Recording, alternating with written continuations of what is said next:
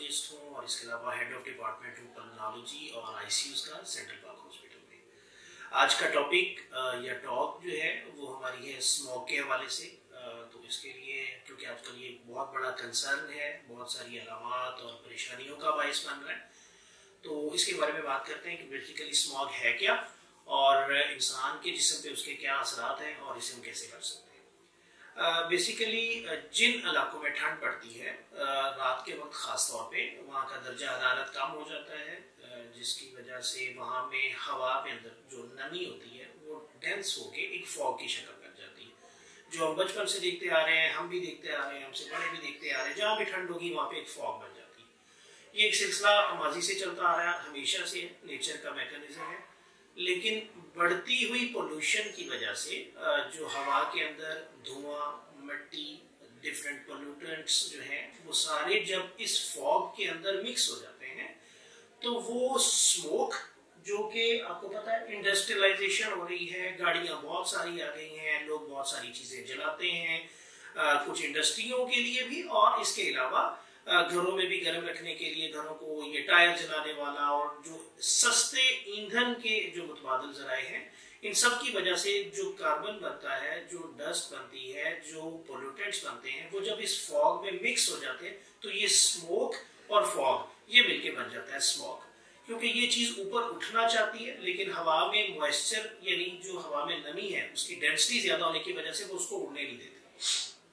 तो ये पोल्यूशन और फॉग का मिक्सर बन के बन जाता है स्मॉग अब ये एक काफ़ी गाढ़ा डेंस और हाई डेंसिटी वाला हाई ज़्यादा कसाफत वाला जो मटेरियल इकट्ठा हो जाता है इसे हम स्मॉग कहते हैं. इसके इंसानी जिसम पे बहुत सारे असर होते हैं. सबसे पहले मैं शुरू करूँ तो एक ये डेंस वाली चीज़ें जो है बहुत इरिटेंट होती हैं आईज के लिए. आप बाहर जाते हैं, आपकी आँखों में वो डायरेक्ट इफ़ेक्ट करता है इरिटेट करता है. आप आते हैं तो आँखों में जलन इचिंग यानी खारिश होना, ये बहुत सांस के हवाले से बात करें तो सांस को दो हिस्सों में डिवाइड करते हैं upper respiratory tract and lower respiratory tract यानी सांस का ऊपर और नीचे वाला हिस्सा। ऊपर वाले हिस्से में सबसे ज़्यादा कॉमन क्या आता है? लोग जैसे बाहर जाते हैं, आते हैं उनको छींके शुरू हो जाती हैं। नाक के अंदर खारिश होना, बेचैनी होना, गले के अंदर इस तरह के अलामत जैसे कि सुइया चुभना और थोड़ी थोड़ी बेचैनी वाली इरिटेशन वाली खांसी उनको हो रही होती है। ये सबसे ज़्यादा कॉमन प्रेजेंटेशन है। इसके अलावा अगर ये और भी नीचे चला जाए यानी सांस के निचले हिस्से को मुतासर करे तो लोगों को बहुत ज़्यादा कंजेशन फील होती है, सांस में से सीटियों की आवाज़ें आती है। ये तो सिर्फ़ उन पे असर है जो लोग नॉर्मल है। जिन लोगों को में पहले से सांस की बीमारी है, अगर उनको ये वाला एटमोसफेयर मिले, ये वाला माहौल मिले तो उनकी अलामत पहले वाली इससे भी ज़्यादा खराब हो जाती है, जैसे एस्थमा और जो सिगरेट पीने की वजह से दमा, जिसे हम सीओपीडी कहते हैं उनमें ये अलामत और भी ज़्यादा प्रोमिनेंट हो जाती हैं और बेचारों को हॉस्पिटलाइजेशन की ज़रूरत पड़ती है ऑक्सीजन की ज़रूरत पड़ती है।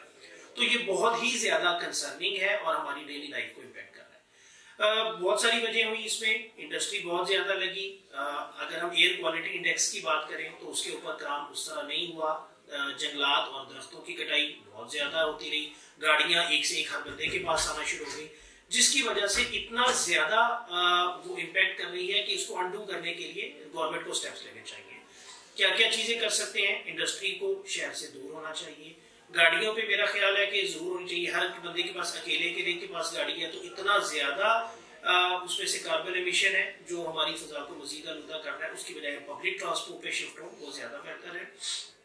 और इसके अलावा जो काला धुआँ छोड़ने वाली गाड़ियाँ, ऐसी जो, जिनकी मेंटेनेंस नहीं है, ये भी उसको जो है इम्पेक्ट करती हैं। तो ये तो गवर्नमेंट के लिए स्टेप्स है, जिसके लिए उनको मुख्तलिफ़ इकदाम जैसे स्मार्ट लॉकडाउन आपने देखा कि उन्होंने स्कूल मॉर्निंग में रखे, मॉल शाम में कर दिए ताकि आधे लोग सुबह में निकले, आधे शाम में निकले तो गवर्नमेंट भी इसको स्टेप ले रही है एंड आई होप कि वो इसको और भी ज़्यादा इम्प्रूव करेगा। हम अपनी कैसे एहतियात कर सकते हैं। नंबर वन चश्मे का इस्तेमाल करें ताकि जो स्मॉग है उसका आपके साथ डायरेक्ट आई कॉन्टेक्ट ना हो। दूसरा मास्क पहने। मास्क वो हॉस्पिटल वाले लेने ज़रूरी नहीं है। कपड़े के भी ले सकते हैं। खातन है, हमारे यहाँ पे पर्दे का रुझान भी कुछ लोगों में है तो वो दुपट्टे के साथ भी निकाब कर सकती हैं, जिससे आप चाहते हैं कि आपके नाक के ज़रिए सांस में स्मॉग ना जाए तो उससे भी बचा जा सकता है। और तीसरा, जैसे ही आप गैर ज़रूरी है तो बाहर ना जाइए। और जो लोग वॉक डेली करते हैं या एक्सरसाइज करते हैं, वो इंडोर एक्टिविटीज़ के ऊपर थोड़ा सा शिफ्ट हो जाए, जैसे ट्रेडमिल के ऊपर। और जब आप बाहर से अगर जाना नागजीर हो, वापस आए तो आने के बाद जो नॉर्मल पानी है टैप वाटर जिसे कहते हैं उससे अच्छे तरीके से मुँह को धोइए। आँखें साफ़ कीजिए, कुल्ली कीजिए, गरारा कीजिए, नाक साफ़ कीजिए, ताकि जो पोल्यूटेंट्स यहाँ तक लगे हैं वो साफ़ हो जाए। और अगर किसी वजह से आपकी अलामत बहुत ज़्यादा हो, आँखों में सुर्खी हो, खांसी बहुत ज़्यादा हो, सांस में से विस्लिंग या सीटियों की आवाज़ें आती हो, और अलामत पहले से दिन ब दिन खराब होती हो आ रही हो तो इसके लिए ज़रूर आप जो करीबी मुस्तरद डॉक्टर हैं, खासतौर पर जिसे पल्मोनोलॉजिस्ट कहते हैं चेस्ट स्पेशलिस्ट कहते हैं, उनसे रजू कीजिए और उसके लिए कोई भी दवाइयों की ज़रूरत है तो हम सबने मिलजुल के इससे लड़ना है, अपनी हवा को, अपनी फिजा को, अपने लिए साफ़ रखना है और एहतियात भी करनी है अपने प्यारों के लिए। तो स्मॉग जो है, एक ख़तरनाक चीज़ है, परेशान कन चीज़ है, इसे एहतियात कीजिए। Thank you